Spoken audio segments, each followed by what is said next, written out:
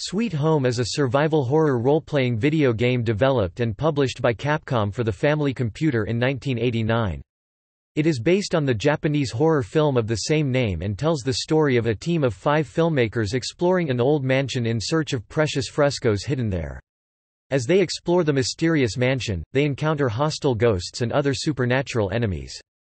The player must navigate the intricately laid out mansion, battling with the enemies and keeping the player characters alive with the limited weapons and health restorative items available.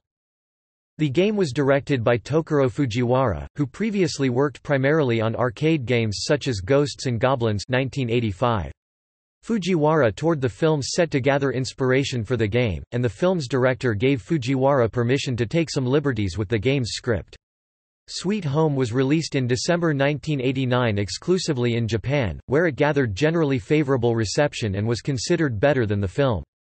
The game was never localized to Western markets, likely because of the game's gruesome imagery and the unpopularity of role-playing games outside Japan. In retrospect, Sweet Home is considered a landmark game and is often cited for laying the groundwork for the survival horror genre. It served as the main inspiration behind Resident Evil 1996, which was a massive critical and commercial success, launching a multimedia franchise. Later games in the series continue to pull inspiration from the game through the use of QuickTime events, inventory management systems, and ghost story elements. Sweet Home's Metroidvania-style exploration, storytelling methods, and horror elements have been cited as precursors to key elements found in other successful games decades later.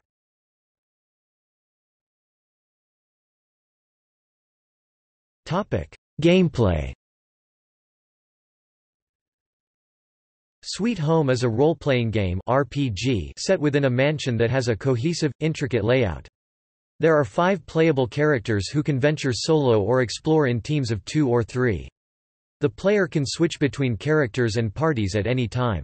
The five characters each have a unique item that is necessary to complete the game, a camera, lighter, medical kit, lockpick, and vacuum cleaner. Along with these items are others that can be picked up and dropped anywhere and retrieved later by other characters. Sweet Home places an emphasis on puzzle solving, item inventory management, and survival. The player must backtrack to previous locations in order to solve puzzles using items acquired later in the game. In this sense, the interconnected mansion is gradually explored in the style of Metroidvania games. Enemies are encountered randomly and the player must fight or run away through menu-based combat. The battles are presented in a first-person perspective, and there are a variety of enemies, including zombies, ghosts and dolls.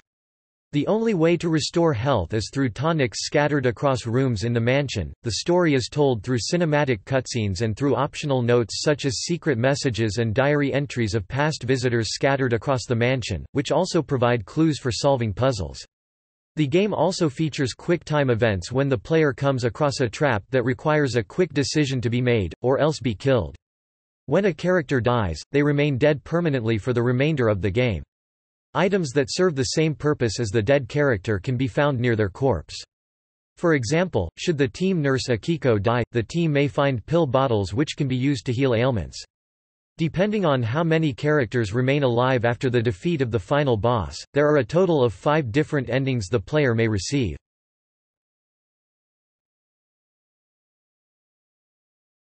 Plot The story is based on that of the 1989 film of the same name, but the writers took some liberties and expanded on the film's plot. Thirty years prior to the story in 1959, famous artist Ichiro Mamiya hid several precious frescoes in his huge mansion before he mysteriously disappeared. In the present day, a team of five documentary filmmakers seek to recover the paintings from the abandoned, dilapidated mansion. Upon entering, they are trapped inside by the ghost of an unknown woman, who threatens to kill all trespassers. The team decides to split up and find a way out, but the mansion is both in danger of collapsing and is occupied by countless monsters. The team find a projection room, where they find a projector that displays an image of a couple and their baby burning. They discover that the ghost is that of Lady Mamiya, Ichiro's wife. It is revealed that 30 years previously, Mamiya's two-year-old son had fallen in the house's incinerator and was burnt alive, and Mamiya attempted to provide playmates for her son by killing several other children. She committed suicide shortly after and her ghost, unable to forgive herself, became trapped in the mansion. The team arrives in the main chamber and confronts Mamiya in a final battle.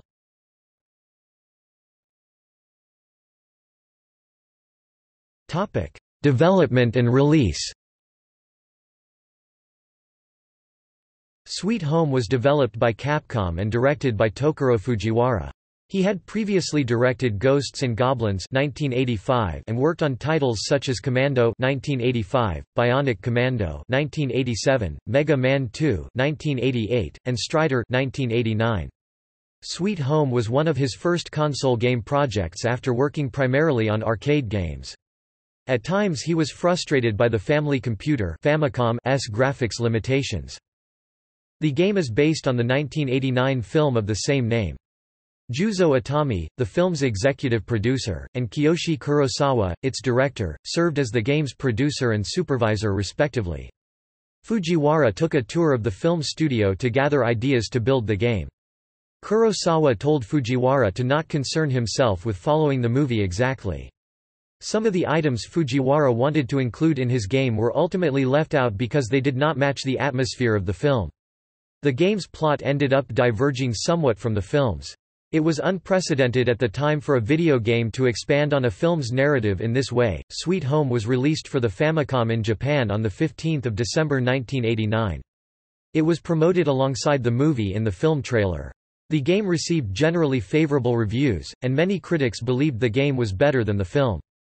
Famitsu provided a score of 28 40 Critics believe the game's gruesome imagery dissuaded Nintendo's branches in the Western world from localizing the game. Also, the low popularity of RPGs at the time at least in North America may have had an influence on this decision. Although the game was never officially released outside Japan, fans translated Sweet Home to English in 2000 and released the modified ROM image on the Internet. The translation took over a year to complete. To this day, some hobbyists load the ROM image onto actual Nintendo Entertainment System cartridges and sell the cartridges through online gray markets.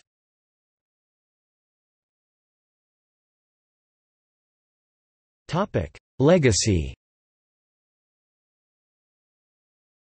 In retrospect, Sweet Home is considered one of the greatest horror games ever made and a landmark in the evolution of horror game design.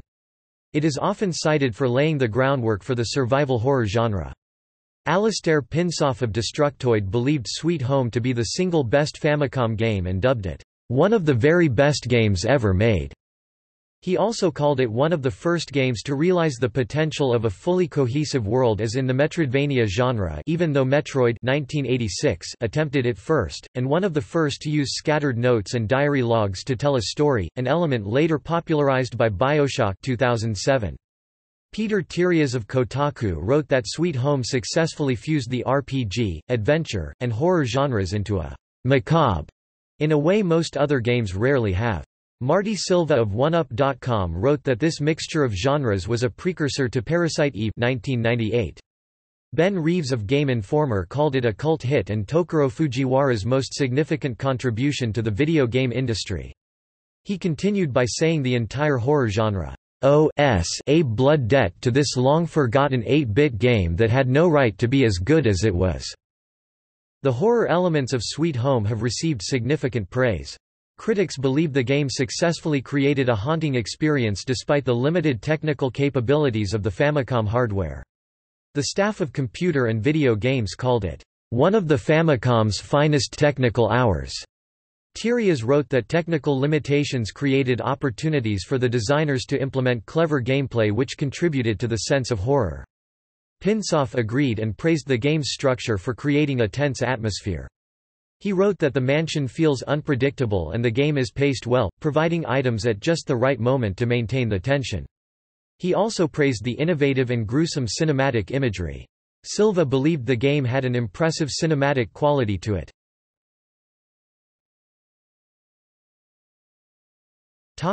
Influence on Resident Evil Sweet Home served as the main inspiration for Capcom's Resident Evil 1996, a game which defined the survival horror genre and spawned a multimedia franchise. When development began in 1993, Resident Evil was originally intended to be a remake of Sweet Home. The game was directed by Shinji Mikami with Fujiwara acting as producer. Fujiwara believed the basic premise for Resident Evil was to do the things that he was unable to include in Sweet Home, particularly in the sense of graphics.